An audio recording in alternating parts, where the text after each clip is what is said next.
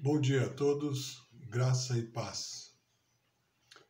Pensando sobre promessas, eu me fixei num texto de Josué, capítulo 1, versículos 1 a 8, que diz assim: Depois da morte de Moisés, servo do Senhor, disse o Senhor a Josué, filho de Num, auxiliar de Moisés: Meu servo Moisés está morto Agora, pois, você e todo o povo preparem-se para atravessar o rio Jordão e entrar na terra que eu estou para dar aos israelitas.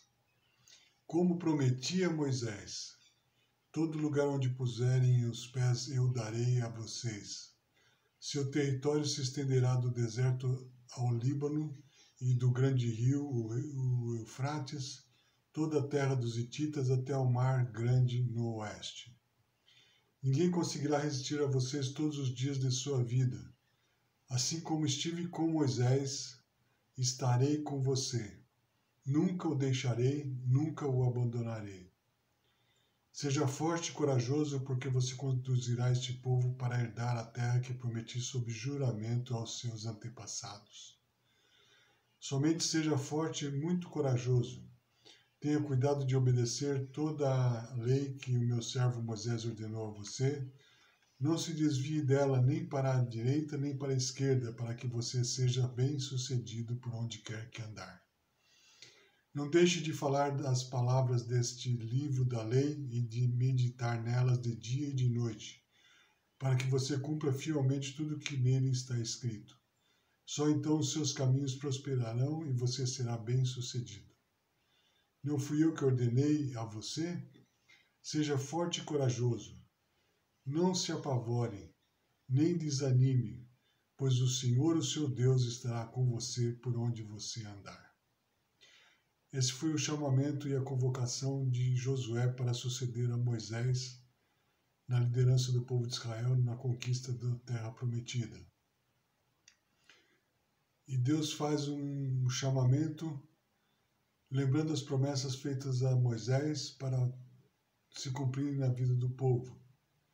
A condição era observar as palavras do livro da lei, de meditar nelas dia e noite, de estar conectado à vontade do Pai, de estar ligado às leis do Senhor para com o povo e na liderança a ser exercida.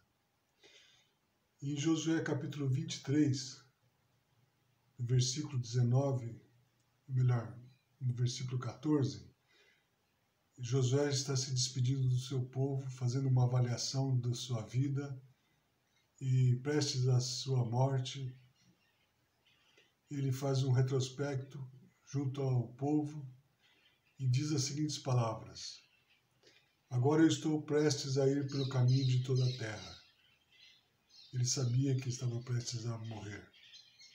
Vocês sabem lá no fundo do coração e da alma que nenhuma das boas promessas que o Senhor, o seu Deus, fez deixou de cumprir-se. Todas se cumpriram, nenhuma delas falhou.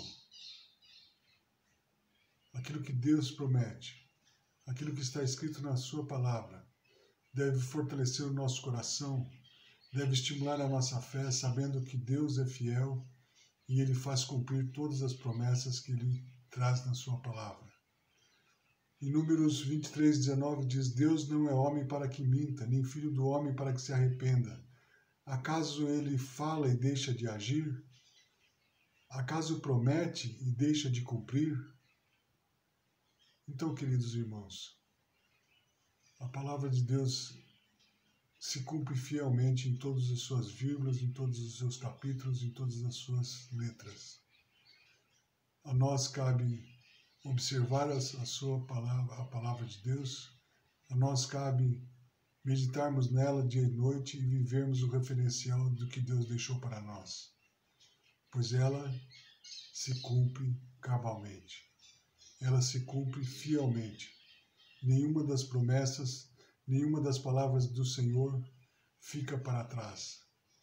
Todas as suas letras haverão de se cumprir na minha e na sua vida, hoje e para a glória de Deus. Deus nos abençoe nisso, Que a minha fé esteja fortalecida no Senhor e a tua fé assim também esteja. Possamos caminhar sabendo que o Senhor não mente. Aquilo que ele promete, ele cumpre e cumpre fielmente. Deus nos abençoe dessa forma. Ó oh Deus, eu quero te louvar pela tua palavra, Senhor Deus, que é referência de fé e estimula nosso caminhar no dia a dia. Abençoa a mim e aos meus irmãos, que possamos caminhar meditando na tua palavra continuamente, como diz a sua, a sua palavra, e possamos caminhar desta forma para a glória do teu nome, vivendo a realidade da tua palavra. No nome de Jesus, amém. Deus te abençoe, caminhe firme com o Senhor, confiando nas suas promessas e sabendo que Ele está cuidando de cada um de nós.